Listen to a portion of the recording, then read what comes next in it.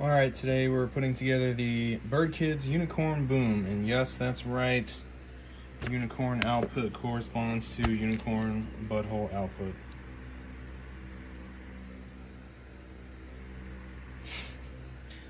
All right, so uh, looking at the schematic here, uh, I got the parts labeled, and then there's the nicely put together box. Uh, this should be pretty straightforward. I'm looking forward to this. Should be easy. All right, here we go. All right, I'm gonna do capacitors first. I got these placed in here. Uh, the white side is the negative side. Also corresponds with what's on the board, so easy to follow along. Uh, they have some resistors here, and I think that you can move those around uh, in, inside these little things right here, but I'm not exactly sure where those go just yet, so uh, here we go. Keep, gonna keep going.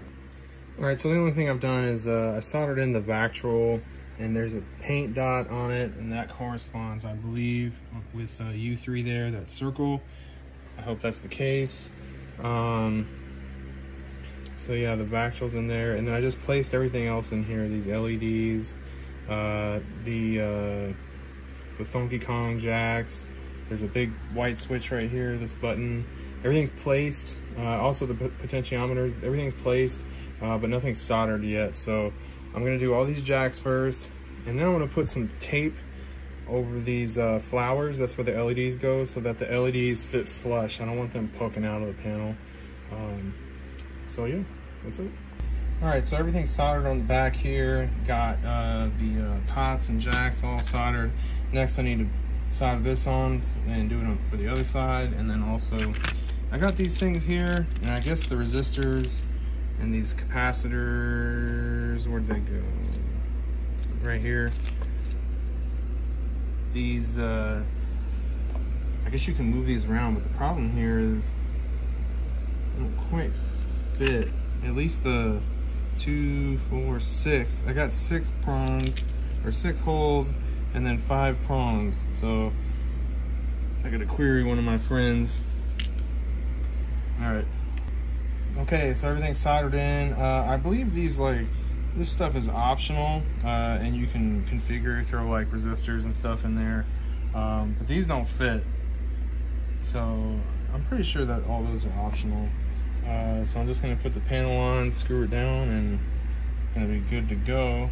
Um, yeah, I had to figure out which side. So the red stripe corresponds with the, uh, there's a square pad and you can see the lead coming off the square pad for power. And that's uh, that's how I determine the direction that this goes. And I actually plugged in a cable to see that. So um, yeah other than that not too bad of a build especially since I had to do all the SMT cool. Okay there it is. All done nice and shiny. Knobs on. I really hope that power connector is on the right way judging by how everything else went today, probably gonna blow this thing up. Okay. All right, one thing to note is to make sure you don't screw on, so I got the nuts under the, uh, the knobs. Don't screw those on too tight, and also these, uh, the jack nuts, because uh, this is a plexiglass panel, so if you do over tighten it, it will crack.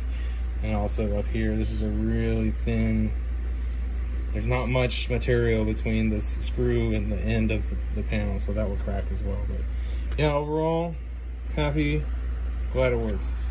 All right, let's go.